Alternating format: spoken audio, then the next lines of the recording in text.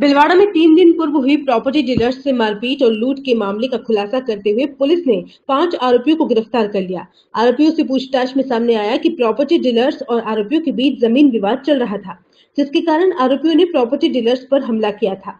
Police लूट को लेकर आरोपियों से पूछताछ कर रही है।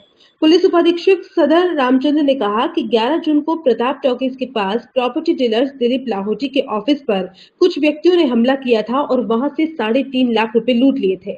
इस मामले में अनुसंधान किया तो सामने आया कि मालोला रोड निवासी पप्पू उर्फ़ सत्यनारायण प्रजापत दिलीप लाहौटी के बीच ज़मीन की खरीद फरोख्त का मामला चल रहा था, मगर एन वक्त पर दिलीप लाहौटी ने वह ज़मीन किसी और को बेच दी, जिसके कारण पप्पू प्रजापत ने आक्रोश में आकर अपने साथियों के साथ ये हमला किया था। लूट के मामले में रामचंद्र ने कहा कि इस बारे में अनुसंधान किया जा रहा है कि वहाँ से इन्होंने रुपए लूटे थे या नहीं। दिलीप लाहौटी है, जो प्रॉपर्टी का काम करते हैं, शहर के बीच में रहते हैं।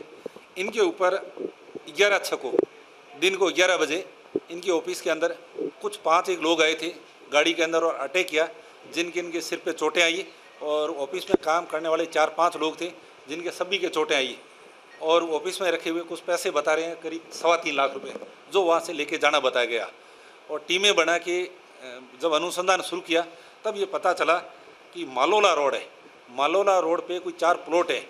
जो ये आरोपी है, अपूर्व सत्यनारायण प्रजापत, इसके आगे भी ज़मीन मेन रोड पे इसकी और पीछे भी ज़मीन इसकी है।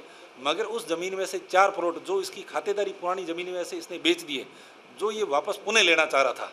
इस दरमियान इसको ये पता चला कि दिलीप लाउटी लाउटी ने कुछ ज़्यादा पैसों के अंदर उस प्लॉट को किसी और को एग्रीमेंट कर दिया है। तब इसने इसको सीधा सरेंडर कर, सीधा करने की इसने ठानी और इसका पीछा किया। ग्यारह छः को इसने अपने चार और दोस्त है उनको वहाँ बुलाया अपने खेत के अंदर। चारों दोस्तों ने और इसने खुद ने मिला के प्लान बनाया कि ऑफ़िस में जाके इसका इलाज करते हैं। तभी अपनी स्विफ्ट गाड़ी है, उस स्विफ्ट गाड़ी के अंदर वहाँ पहुँचे ग्यारह बजे और सीधा इन्होंने हमला करके बेस बोर्ड वगैरह से हमला करके मारपीट वगैरह की। मारपीट करने के बाद में ये वहाँ से सीधे भागे। जब ये उदयपुर से निकले, तब पुलिस को इन्फॉर्मेशन मिली कि अभी ये उदयपुर को क्रॉस किया है। तब एसपी साहब ने, चित्तौड़ एसपी साहब से बात करके और लोकल थाने से बात करके मंगलवाड़ पुलिस को कहा।